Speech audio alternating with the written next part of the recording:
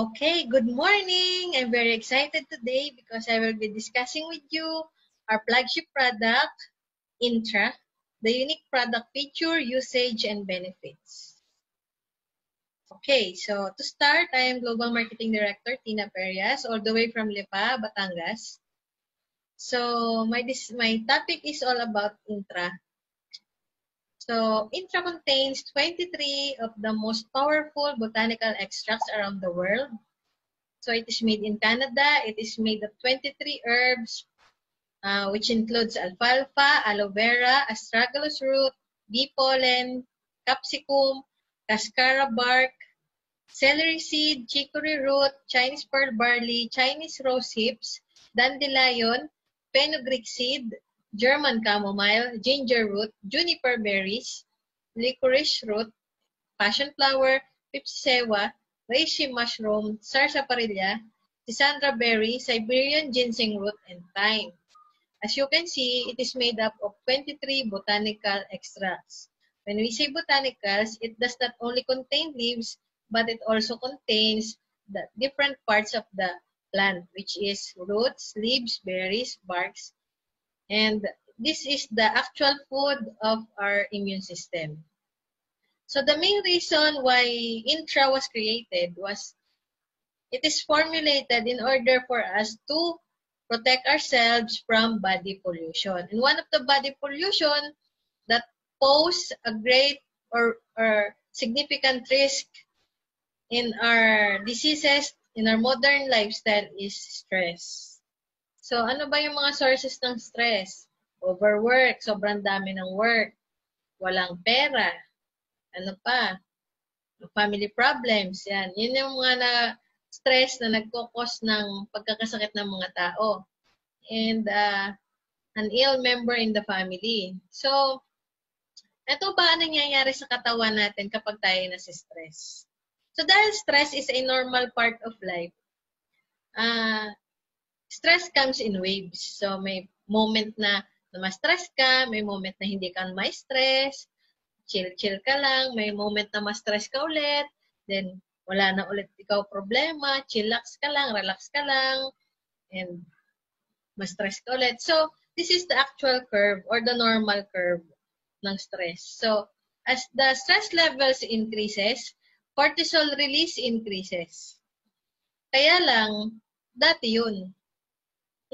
Dati kasi, uh, sa normal sa normal na stress level ngayon, hindi na bumabalik sa baseline ang stress natin. Lagi na tayo dito sa figure 2. Tingnan natin tong figure 2. Yung red indicates the stress na na-encounter, na-encounter ng isang tao sa isang araw.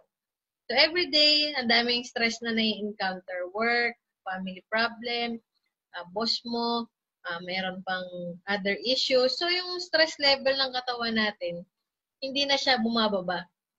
So, dahil hindi siya bumababa, hindi siya nakakarating dun sa baseline, ano nangyayari? Our body tends to release stress hormones called cortisol. Na supposed to be, yung cortisol na yon, marirelease lang yon during emergencies para makapag-cope up yung ating katawan sa emergency at makapag maka, magkaroon tayo ng resistance laban doon sa stress.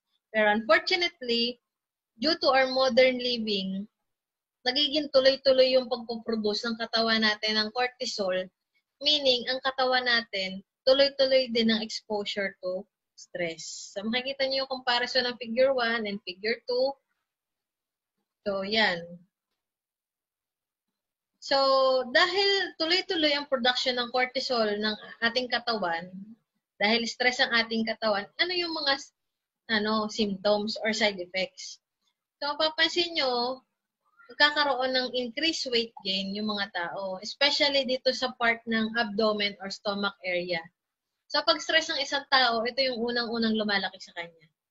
A puffy or flushed face, yung puffy, puffiness, yung mamaga, lumalaki yung mukha mo, mood swings, yung iba-iba ka ng moods, uh, nagkakaroon ka ng increased anxiety, fatigue, and poor sleep, hindi makatulog, laging parang pagod, uh, increased urination, irregular ang menstruation, nagkakaroon ng fertility problems, palaging may sakit, mataas ang BP, nagkakaroon ng tagihawat, uh, nagkakaroon ng mas malaking chance sa bone fractures and osteoporosis, laging masakit yung katawan, tapos mawala ng gana sa sex, and nagkakaroon ka ng excessive thirst. So, ito yung symptoms na yung katawan natin mataas masyado ang cortisol level.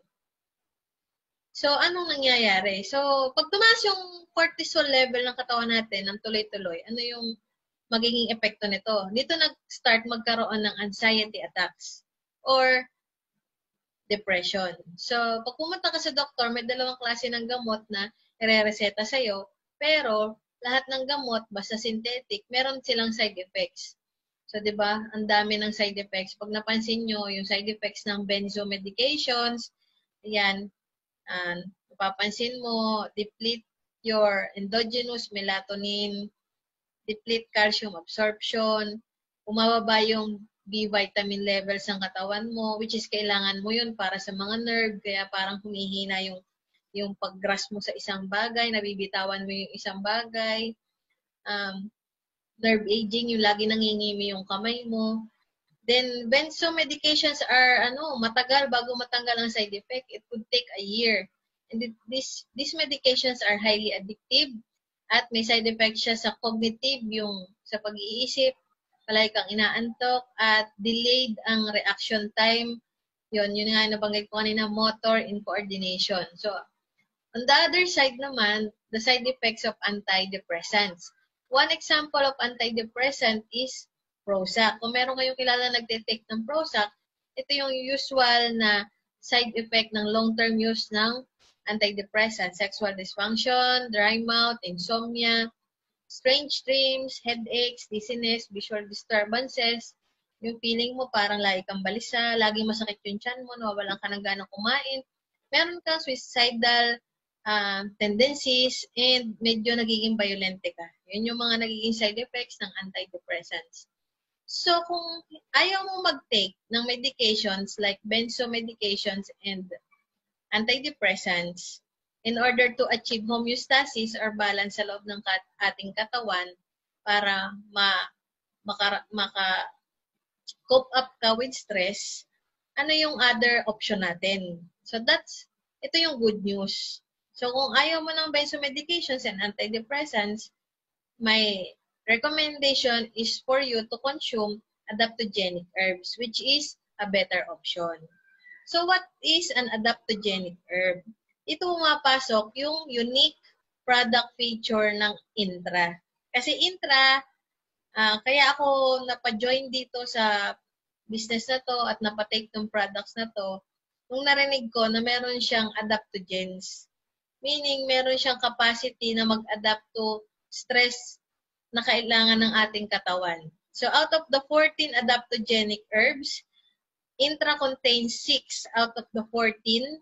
So meron siyang Eleutero root or the Siberian ginseng, reishi mushroom, licorice root, astragalus root, sisandra berry, and aloe vera. So, ang galing 'di ba?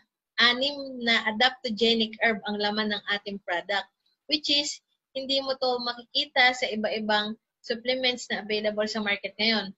Um, most of the supplements nowadays contains only either one or two of these adaptogenic herbs. But Intra contains six adaptogenic herbs. So, adaptogens are natural substances that are non-toxic over long-term use. Ibig sabihin, kahit matagal mo i-take yung products na yan, adaptogenic herb, hindi siya nakakasama, unlike doon sa medications or synthetic medicines, Bagkos, it can generally help the body adapt to and cope with stress while helping to normalize other bodily processes. So kung sa labas, sa, sa, sa doktor, binibigyan ka ng pain reliever, when you take adaptogenic herb or adaptogen, this is synonymous to a stress reliever. O di ba, bongga? Wala kang maiinom na bili ng stress reliever na gamot. Wala kang basta mabibiling ganyan. So adaptogenic herbs help your mind and body allay the negative effects of chronic distress so common in our modern lifestyles. And because of this, they help you to stay healthy and live longer. So some of the powerful adaptogens found in intra includes yun nga, Siberian ginseng, reishi mushroom, Sisandra berry, astragalus, licorice root, and aloe vera. So what are these adaptogens? Let's start by number one, adaptogens for exercise and weight loss. So kung gusto mong, uh, ang gusto mo ay magpapayat, mag-lose ng weight, ang adaptogenic herb na, na bagay dyan ay ang Siberian ginseng. Kasi based on studies, Siberian ginseng can help to improve total oxygen capacity. So kung nag-exercise ka at nagtitake ka ng adaptogenic herbs like Siberian ginseng, hindi ka madaling mapagod. Hindi ka mabilis kapusin ng hininga. So nai-increase din yung exercise capacity mo at saka yung leg muscle strength mo. So sa diabetic naman, diabetic patients, Siberian ginseng is found to be beneficial for weight loss. So, kasi kailangan ng mga diabetics na mag-lose ng weight kasi pag nag-lose, uh, pag tuloy-tuloy sila nag increase ang weight, mas madami ang, ang possible nila na complication. So, Siberian ginseng is also called the king of adaptogens by ancient Chinese herbalists. It is known for increasing productivity, helping the body contend with stress. So kung meron kayong kakilala whose life is full of long days of hard physical work that requires focus, Eliotero root or Siberian ginseng may be the perfect adaptogen for you. So, uh, example, you are a nurse, a doctor, a police, basta yung madalas ka nagpupuyat, exposed ka sa mabibigat na trabaho, bagay na bagay sa iyo ang adaptogen na Siberian ginseng. The next one is adaptogen for stress. Licorice root. Licorice root is a powerful adaptogen for the ability to handle stressful situations in your body. Kung ang katawan mo ay hindi nakakapag-produce consistently ng cortisol, kailangan mo itong adaptogenic herb na licorice para makapag-produce yung katawan mo ng cortisol kasi either way yan eh. Meron taong sobrang dami ng production ng cortisol, meron din naman na hindi nakakapag-produce ng cortisol. So, kailangan mo ng adaptogenic herb na licorice para makapag-produce ka ng cortisol and in order to activate your uh, fight or flight response under stress. So, there are studies na in both humans and animals na licorice allows your body to make more cortisol under stress so that you can resolve the situation more quickly. Hindi ka natutulala, nakaka-respond ka kaagad sa mga emergency, sa mga stressful na situations. So as one of the herbs for stress, ano ang trabaho ni licorice? It nourishes weakened adrenal glands, lowers cortisol level, and helps balance the immune system. Like all herbal adaptogens, its benefits extend beyond stress relief. Hindi lang siya for stress. Marami pa siyang ibang nagagawa. Like for fatty liver, diabetic, hypertensive the patients, and weight gain. These are just some of the main concerns. Um, licorice may be the perfect adaptogen to incorporate in your wellness routine. So next, adaptogens for longer life. Adaptogens for longer life includes astragalus. Astragalus is the only natural substance that contains cycloastragenol, a molecule that can lengthen telomeres by activating its production two to three times more. So, diniscuss before ni Sir, ni Sir Paul Kramer about the telomeres. So, telomeres are found inside our cells. Araw-araw namamatay ang mga cells natin. Pero, kung matibay or mas mahaba as ang telomeres ng isang cells mo, mas matagal mamatay ang cells natin.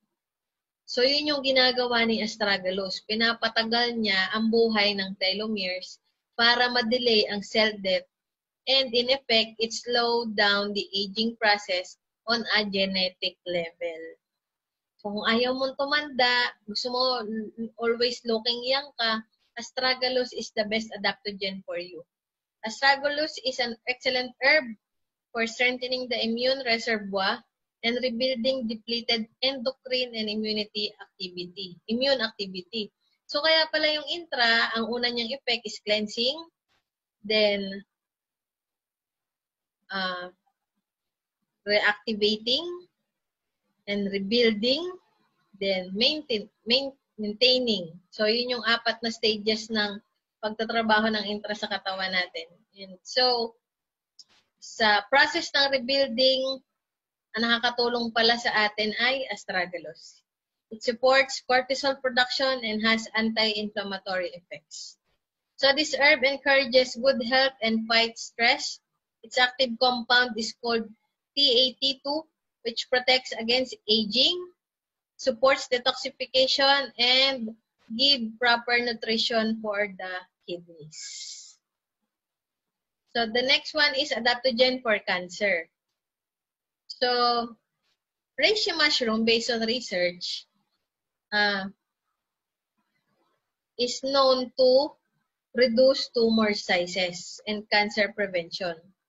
So, particular cancer na natutulungan ni reishi mushroom is prostate cancer. It also helps protect the liver. It boosts the antioxidant levels and has overall anti-aging benefits.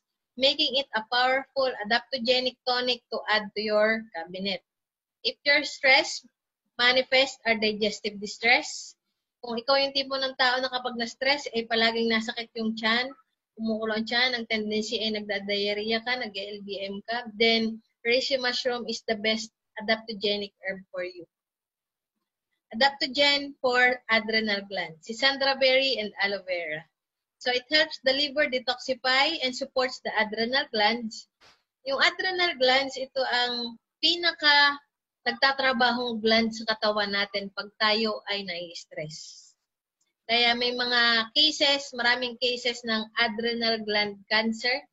Ibig sabihin, sobrang stress na stress yung may katawan yung taong yun. Kaya ang kanyang adrenal glands ay sobrang pagod na pagod, nagkaroon na siya ng cancer. So si Sandra Berry is a good adaptogen adaptogenic herb for uh, for adrenal glands because it strengthens the HPA axis and normalizes nervous system and immune activity. It also helps nourish and strengthen people who are weak or chronically fatigued. Yung mga taong laging nangihina at laging uh, parang pagod, yan bagay sa'yo ang si Sandra Berry. These berries have the added benefit of gently stimulating the central nervous system. So kapag stress ka, ang pinakamahinang part ng katawan mo ay nervous system. Ang tendency, magkaroon ka ng ano, uh, emotional breakdown. Nagiging, naglilid yan sa insanity. So, kailangan mo ng adaptogenic herb na si Sandra Berry para ma-stimulate ang iyong isip and brain activity in order to enhance work, metabolism, cognition, and athletic performance. So, sa mga adults na may ADHD, yung sobrang makukulit, sobrang mga hyper, this adaptogenic herb is, can be helpful to them also. The next one is aloe vera. Aloe vera is also uh, an herb found in intra. Contains two active compounds, asimanan and aloctin A, which supports immune and adrenal health. Ba, ang ganda ng products. So, after we discussed the adaptogenic effect or the adaptogenic herbs, we now move on to the next unique prod product feature of Intra, which is synergistic effect. So, how come na there is a there is this bottle na 23 herbs or botanical extract na nagkakatulungan sila in order to support our body system. That's because uh, intra contains a botanical also which has a synergistic effect. Meaning, ng synergistic effect is relating to the interaction or cooperation of two or more organizations, substances, or other agents in order to produce a combined effect greater than the sum of their separate effects pwede naman na hiwa-hiwala yung 23 botanical extracts. But why is it na inilagay siya sa isang bote? Kasi mas maganda ang effect when they when they are taken synergistically. Mas mararamdaman mo yung maximum effect kapag sila isabay-sabay mong iniinom. The particular herb that is a synergist is Sarsaparilla. So Sarsaparilla, in other words, it's thought that the saponins found in Sarsaparilla increase the bioavailability and absorption of other herbs. So, because of Sarsaparilla, it's a unique herb. Siya yung siya yung nakakatulong para mas maganda yung bioavailability and absorption ng 22 other herbs na laman ng intra. Diba? So, wala kang makukuhang uh, mas maganda pa sa intra. So, when intra, nutria, and fiber life are taken together, they are called better together. So, intra contains six adaptogenic herb, while nutria contain amla, which is also an adaptogenic herb, combined with intra, you can be assured na pag tinake mo ang mga products na ito sabay-sabay, the ORAC uh, level of your body is dramatically increased. What is ORAC? ORAC means oxygen radical absorbance capacity.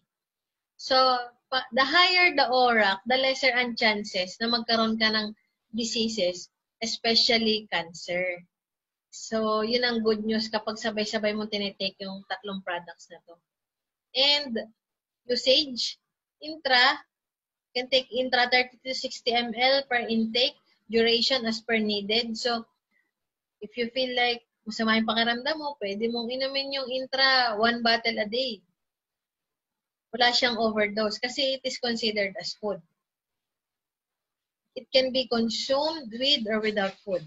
While Nutria, you can take 2 to 4 capsules per intake in 3 times a day. So, approximately 12 capsules a day. Some people even uh, take 24 capsules of Nutria a day.